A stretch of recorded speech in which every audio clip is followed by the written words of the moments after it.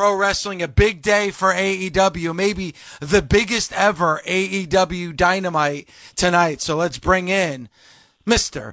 Tony Khan. Tony, good morning to you.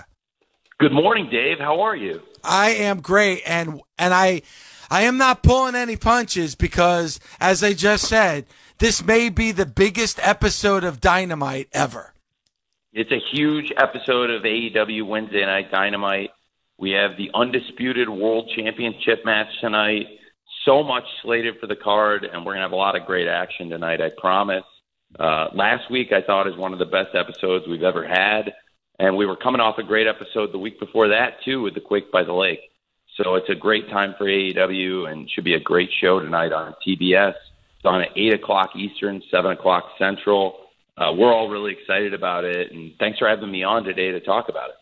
No, it, it is an exciting day. And like you just said, obviously, what we're going to see tonight, a match that I thought we were going to see at All Out and Busted Open will be at All Out, uh, All Out weekend in Chicago. But now we're getting it on free TV. Uh, very interesting because we're just a couple weeks away from one of the biggest pay per views of the year. And now we're getting it on free TV tonight on Dynamite. Huge matches on tap for tonight on Dynamite and it's a really exciting time of the year for us. It was around this time of the year last year CM Punk first arrived in AEW. It was uh, a year ago this past weekend he first showed up, and then uh, we started to get a sense of where things might be going, and of course then. Uh, in the the week leading up, we announced CM Punk versus Darby Allin. Of course, we last year we had the tag team eliminator tournament going on, and we weren't sure who was going to be heading into the final to wrestle the Young Bucks. This year, of course, different tournament. We have the World Trios Championship tournament going on. So again, very exciting tournament going on, and, and this week to see who's going to be up to face Kenny Omega and the Young Bucks in the Dynamite bracket final. We have a really exciting match on tap tonight, set for the Death Triangle to take on Will Ospreay and Aussie Open. I'm excited for that. Very, very excited for that. And, you know, you look at us getting closer and closer to All Out. What are we going to get at All Out when it comes to this AEW World Championship? Very surprised that we're getting this match tonight. I'm happy. I'm sure a lot of fans are happy as well that we're getting a match that we really thought we were going to see on the pay per view tonight. Well, we got some exciting uh, announcements go- leading towards the pay per view. And then, of course, we have a world championship match tonight. We have the AEW world champion CM Punk wrestling the AEW interim world champion Jon Moxley, uh, who's had an amazing summer defending the championship since the injury of CM Punk. And uh, it's going to be a great match tonight. We're in Cleveland, Ohio. Ohio, of course, the home state of Jon yep. Moxley. And uh, CM Punk coming off this injury, but uh, now for the first time since uh, our AEW Dynamite at the LA Forum, which was another one of the biggest shows and best shows we've done. It was really great uh, to see CM Punk return to AEW TV at the Quake by the Lake. And last week he came out firing. Him and Jon Moxley started throwing live rounds at each other, both verbally and then physically. and uh, it's just a really exciting situation. And then when they came back out and started fighting again, it became clear these guys were not going to make it to all out without fighting, and they both wanted to go. So I thought it was a great chance for the fans on TBS to get a world title match to see this situation uh, unfold on TBS tonight, and a lot more things uh, coming into focus tonight as we approach all out. So it's a, it's a really exciting time for us, and to have two of our biggest stars going one on one and a lot of other great action on tap for tonight. I think it's going to be a great night. Yeah, you know, awesome. you, yeah, and and you mentioned you mentioned the, the verbal barbs uh, that that Punk threw, and even throwing Hangman Page into it. Like, you know, it's it's hard to control CM Punk when he's on the microphone, Tony. Well, it's unresolved anger, I think, from the world title match at Double or Nothing, and we had not really tied up all those issues. CM Punk made one appearance to wrestle after Double or Nothing, and then it was immediately after that that he got injured and was forced to step away. So I think there was clearly some stuff that never got resolved uh, at Double or Nothing, and then uh, immediately jumped into somebody who has challenged him, and in not a type of match we've ever had in AEW before. You know, we've had uh, interim championships established, but we've never had an interim world championship and never had an undisputed world championship match like this. So it's a very exciting thing for TBS tonight for us, and uh, just been a great time for the show. You know, it's been 12 straight weeks going into tonight that AEW's been one of the top two shows on cable for 12 straight Wednesday nights, and uh, hope to continue the streak tonight. And it's been a great summer thanks to the fans of AEW really supporting us through what could have been a really challenging summer in a lot of ways was with a lot of the top stars out. And only now in recent weeks have we started to see a lot of them come back with Kenny Omega making his return last week, yep. CM Punk a week prior and stepping back into the ring tonight. And of course, Bryan Danielson coming back a few weeks ago, having that amazing two out of three falls match with with uh, Bryan Danielson versus Daniel Garcia last week. And uh, step by step, I feel like AEW is approaching 100% again. And it, of course, last summer, it was when we really launched with this huge group of stars that arrived in AEW. And now we're getting close to the first time we've had all of our stars back at the same time, which is really exciting. Yeah, I mean, I'm excited because you talk about stars being back, and I see that Kilynn King has made her way back, and she's someone who I thought I've seen a lot in Kilynn. I think she's an incredible talent, and um, it's cool to see her. She's going to go up against uh, Dr. Britt Baker, but it's cool to see her get a new opportunity in AEW and hopefully a chance to shine and show what the world like what she's capable of because she's amazing. So I'm excited yeah, for that match. The, I love the Kilynn King's wrestling and her work ethic, and I think she's a great person. She is somebody that had been in AEW and is a really hard worker and has gone out in the independent scene and done a really good job and built up a reputation and then came back and had an awesome match last week with Toni Storm on Dynamite. Yeah. And uh, I thought it was excellent. And now, uh, as we approach tonight's show, I am really, really looking forward uh, to seeing Kilynn King get in the ring with Dr. Britt Baker, especially after seeing the great match she had with Toni Storm last week. We yep. had Kilynn King wrestling on AEW Dark last night. She picked up the win and then called out Dr. Britt Baker, who actually showed up, and they got into a physical altercation. And I think Britt was surprised. Kilynn King really has come a long way since the last time she'd been in the ring with her. And Kilynn King beat up Britt and left her laying last night on AEW Dark outside the ring. So yeah, uh, should be a really interesting situation tonight on Dynamite.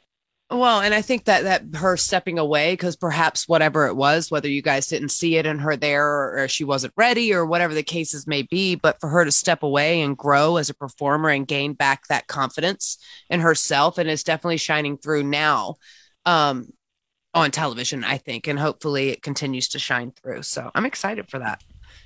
Yeah, you know, too. I'm always going to root for the women. I can't help yeah, it. To see Kilynn and should be really fun. And uh, yeah, me too. And and, and Toni Storm, uh, of course, the number one contender is going to be watching that real closely. And she's done such a great job since she came in. Right on. Ditto. And yeah, speaking of the women at All Out, we're going to see uh, Toni Storm and Thunder Rosa. They're a tag team. Thunderstorm, they're very good yeah. friends. And then this, you know, you get this kind of championship opportunity. Like, you know, your feelings about that, Tony, because I feel like they both have good chemistry together as friends, but we've seen them in the ring before. This should be an interesting contest at All Out. Well, they had a great match in Chicago yep. at Forbidden Door. And since then, Toni Storm has just been on a great roll and has proven, I think she's done everything it would take to get another shot. And it's interesting. Uh, you know, they have been a great tag team and they've uh, at times really uh, been on fire as friends, and then we've seen them lock up as opponents. So Thunderstorm, no matter what happens, whether they're teaming up or whether they're fighting each other, it's always an exciting matchup. And I think uh, last week Britt had some choice comments about the tag team of Thunderstorm, and also uh, wanted to prove you know she's a better contender than Toni Storm, and that she could do a better job. Well, we saw Kilynn King put up a hell of a fight against Toni Storm, and uh, now we could see how she could do against Britt. You know, um, Tommy has said this before on the show that you, Tony, right now have the golden ticket, and that golden ticket is is Punk and Moxley, and we're going to see it tonight on Dynamite again. AEW Dynamite. We're going to get this Battle of the Champions, which is going to be amazing. Uh, 8 p.m. Eastern Time on TBS tonight. But you have this golden ticket, and it's playing out on live free TV tonight, which is a special treat for the fans. Like, how difficult of a decision is to make as whether to have it on an episode of Dynamite or have it on a pay per view like All Out? Well, it's a great match for the fans now, and I think it would be a great match at any time. But tonight, mm-hmm. uh, it felt like the right night for this big fight. And given last week we really could not keep these guys apart. It just did not seem sustainable uh, to try and have the show get taken down week after week by these guys who uh, were clearly going to just tear the ring apart if we, you know, continued this way. So uh, we saw last week we couldn't even get the show running, and of course, uh, you know, Mark Sterling and Tony Nese were coming out for an interview. They couldn't even get that going. Jon Moxley hijacked the show, and then CM Punk was out, and they were fighting again for the second time in the same night. So uh, these guys wanted to fight, and uh, I think tonight presents a great opportunity on TBS for a big fight. And of course, as we approach All Out, the card is going to be massive, and I, we're going to have a much better idea by the end of the night what it'll look like um, as we get closer to All Out on Sunday, September or Sunday, September fourth, uh, Labor Day weekend. I was about to say. No, and there's nothing better than wrestling in Chicago. As I mentioned, we'll be out there, you know, AEW Fan Fest uh, on September 3rd, and of course, All Out on September 4th. And it's just great having those conventions like you have to get fans together. So I'm really looking forward to All Out weekend because it's not just about what's taking place that night on the show, but it's an, an entire weekend. It is kind of like a celebration of AEW. And you mentioned it earlier, Tony, about the injuries, and now everybody's coming back, and we're you know we have the return of CM Punk, the return of Kenny Omega, but yet you weren't you didn't lose anything over the summer. I know it's always tough for you to lose some of your big stars due to injury, but now here you are. We're approaching the fall, and it seems like you're firing at all cylinders. Yeah, I think the company is really in a strong place. Last week, we got such great feedback about the show that it was one of the best shows we've done. Yep. And the previous week, I got a lot of great feedback about the Quake by the Lake, too. And now I think uh, we really are getting back to a place where we've in full strength again. And it was about a dozen weeks uh, that we really had this injury bug play out. And it, really was very gratifying to keep our streak going of uh, first or second place finishes, keeping Dynamite in the top two shows on cable. Most weeks, number one out of the past dozen weeks, and uh, I believe it's it's uh, eight or nine out of the last twelve weeks. We've been number one, and then number two the weeks we haven't been number one. So uh, it's been a great run, and I think to do that with some of the biggest names in the history of AEW and, and some of our top stars that had been out. It was that was great, but now really things have come into focus, and hopefully, uh, you know, we're going to be backfiring on all cylinders after tonight. Yeah, uh, well, that's interesting, David, because I have like kind of a different opinion on that because I go, um, I was actually excited. I'm sure it's frustrating from a company standpoint when you have, you know, these are your investments and and these top stars of who you've put the company behind, and then they're out on injury. But it almost forces your hand in a sense um, and your creativity to then perhaps take a look at some of these other stars because you have an immense amount of talent signed um, that you haven't really put the ball behind yet to then start building them up to that mm. you know it's almost and now it kind of makes it different a different landscape as these new stars or you know the older stars are coming back from their injury because now some of these younger talents who wasn't getting the television time before and now have grown on television since these guys were out with injury have grown and now so they're almost competing with these new talents who have earned their television time you know so it's exciting times and i think it just adds more um, competition, both, you know, in the locker room and just out there in general for everybody just to keep competing their, you know, at their best performance and just different options for storylines and for the audience to get to know more characters and, and, and talents that you have there that they perhaps weren't seeing before. So I yeah. think it's like no, a blessing a and a curse. Mickie. Yeah. It's a great point. And, uh, yeah. you know, that was a lot of the positive and the silver linings out of it. And uh, right. so there were benefits and uh, you know it's hard when you're you know, when you, we had a period of several weeks, you know, a couple couple months where there was no Bryan Danielson, no CM Punk, no Kenny Omega. That really added up. Um, right. But uh, then when we got through that, uh, now it's great. And to your point, yeah, it was a big silver lining because there were a lot of people that uh, did get the benefit of it. And, uh, you know, we tried different people out in different spots, and some of the things really worked. And uh, we learned a lot from it.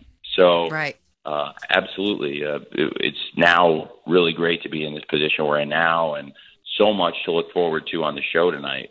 I'm also uh, really excited about Chris Jericho confronting Daniel Garcia face to face.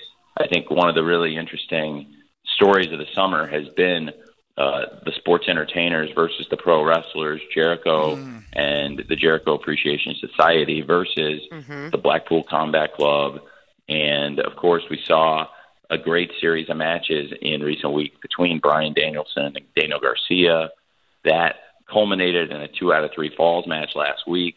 Afterwards, Bryan Danielson went to shake Garcia's hand, and Chris Jericho attacked Danielson from behind before they could shake hands and show respect to each other. And uh, Daniel Garcia seemed to take exception to what happened after the match.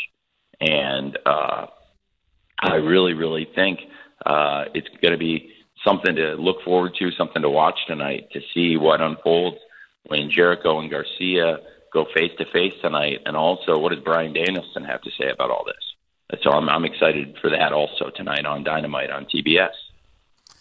Um, tonight, obviously Moxley, Punk. Let me ask you, Tony, is this the biggest match in Dynamite history? Uh, it's certainly up there. I mean, we've had world title matches before. I think this would be right there. We've had, of course, uh, J- Jon Moxley defending the championship in big matches before.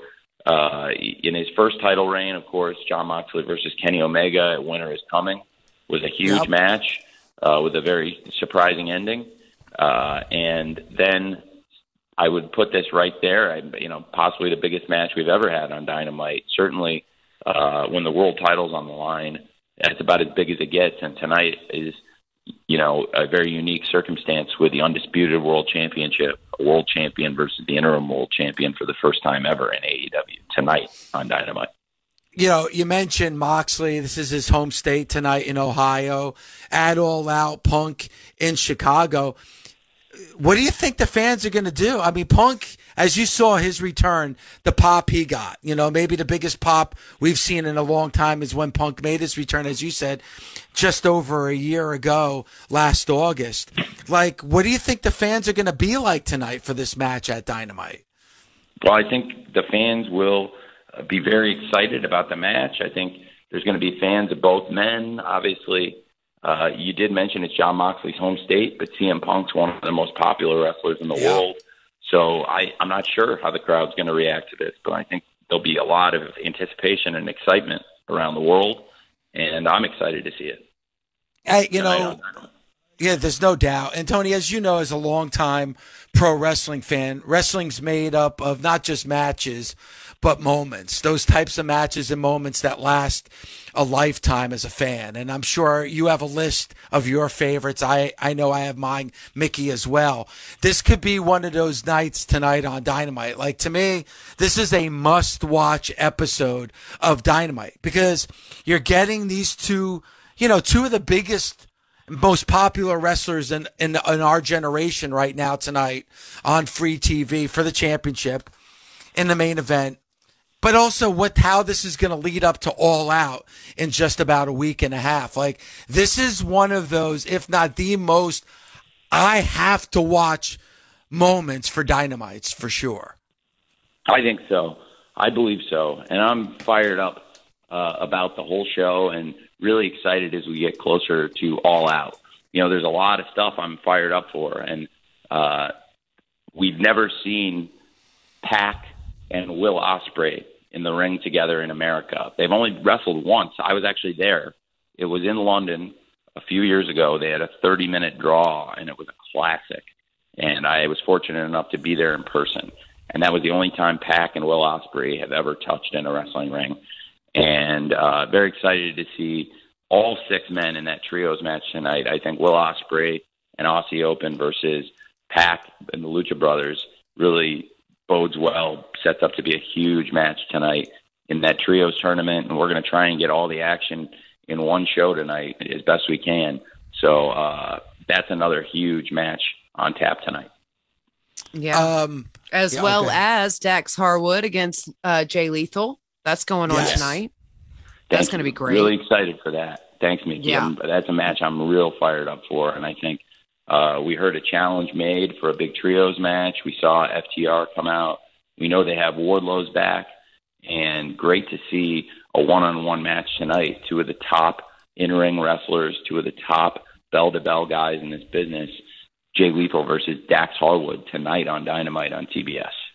And you talk about Wardlow. How much do the people love Wardlow? They love him. They love right? Him. Like I'm that's not him. just me, but I'm like, you see the real like the people really, really just love him, which is crazy to you know, it's hard to get fans to like fall in love with someone like that. So yeah, he's wildly, wildly popular. And yeah. uh it's you know, somebody that the fans have really rooted for for a long time, even uh when it wasn't necessarily fashionable to do so. And when they weren't sure what kind of guy Wardlow was, I think people always suspected there was a good person in there. Uh, and to see the change in his character this year and the, and the way he stepped forward, it's really exciting. Uh, mm-hmm. So, you know, I'd be on the lookout for him tonight also. And what does he have to say about all this? So it's yeah. a, it's a lot of fun things on tap for tonight's show, and uh, I'm just real excited about Dynamite on TBS. And well, we're going to follow it up with a lot of big action on Friday on Rampage too. So it's a big week for us. Yeah, and as we're getting closer and closer to All Out in Chicago, uh, Busted Open will be in attendance for All Out in Chicago. We'll be a part of AEW Fan Fest on Saturday, so really looking forward to that. Myself, Thunder Rosa, and Mark Henry, and of course, uh, a huge episode of AEW Dynamite tonight, 8 p.m. Eastern Time on TBS. We're getting the Battle of the Champions, CM Punk and Jon Moxley, to find out who is the undisputed AEW World Champion and what, how this leads to All Out and just days away from their biggest show of the calendar year. Tony, can't wait for tonight.